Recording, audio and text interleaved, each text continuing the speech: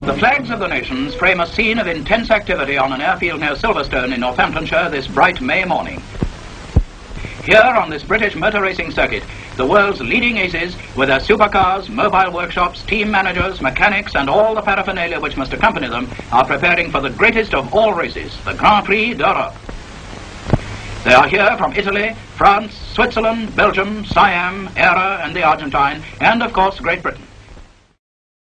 Sziasztok!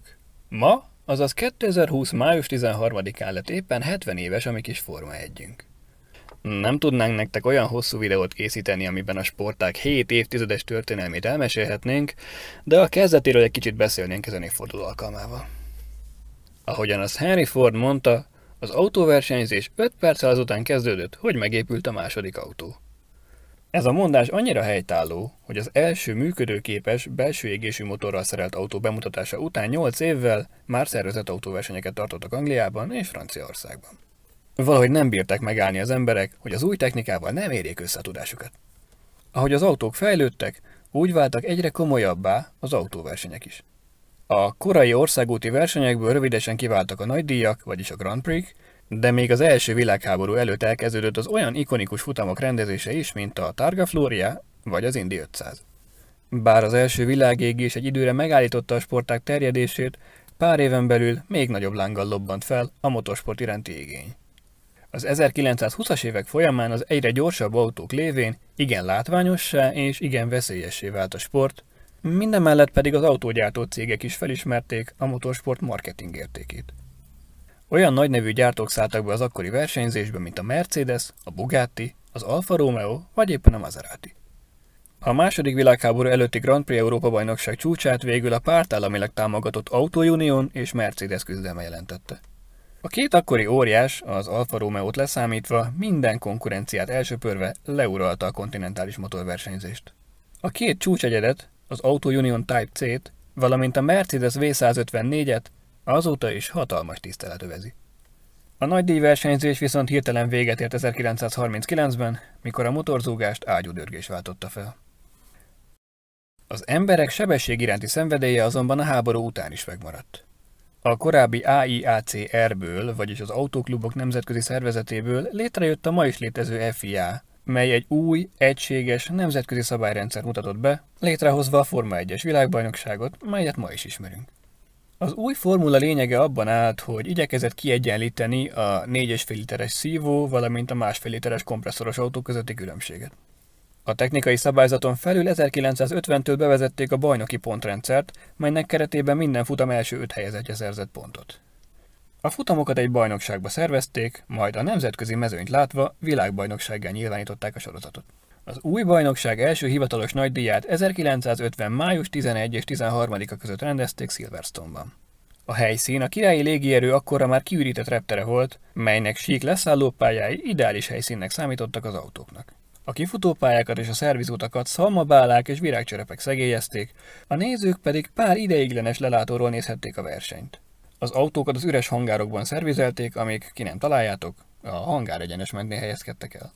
Összesen 22 pilóta nevezett be a hétvégére, közülük 21-nek sikerült kvalifikálni a vasárnapi versenyre, akik mind öreg, háború előtt készült autókkal álltak rajthoz. A hétvégét a négy darab Alfa Romeo 158-as uralta, mivel érdemi kihívója nem akadt. A háború előtt verhetetlen német autók ekkoriban ugyanis vagy egy raktárban porosodtak, vagy már régen bombázás áldozatává váltak. A domináló alfetták mellett még pár Maserati volt jelen, de emellett a francia tábotok és az angol erák és álták is nevezésre kerültek, de ezek lényegesen gyengébb autóknak számítottak. Vasárnap délután közel 200 ezer néző és a király jelenlétében elrajtolt a világ első Forma 1-es futama, mely így 2020-ból visszatekintve történelmi pillanat volt.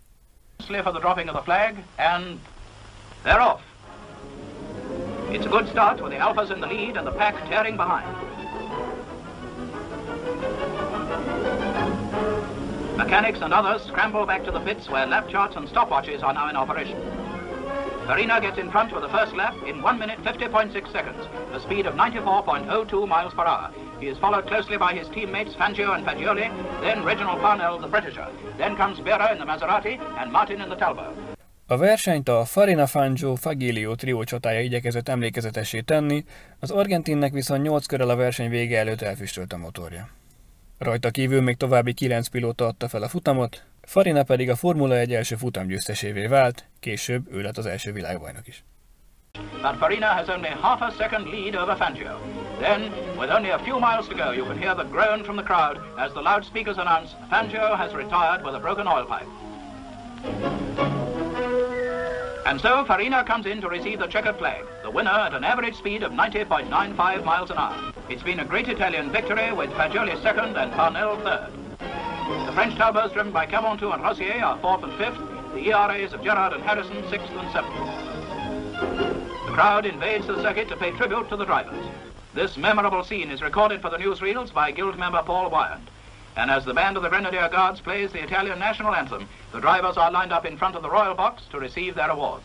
70 évvel ezelőtt tehát elkezdődött egy bajnokság, amely a kezdeti nehézségekből kinőtte magát, és napjainkban az egyik legnagyobb tömegeket megmozgató, legnézettebb sporteseményé vált.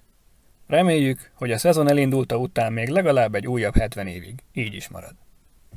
Ennyi lett volna mára. Ha tetszett a videó, nyomj rá egy lájkot, iratkozz fel a csatornára, ha még nem tetted volna meg a hasonló tartalmakért. Van egy Patreon oldalunk is, itt láthatjátok a támogatóinkat, akiknek nagyon-nagyon szépen köszönjük. És ha te, kedves néző, úgy gondolnád, hogy megérdemeljük, akkor havonta egy söröcske árával támogass minket.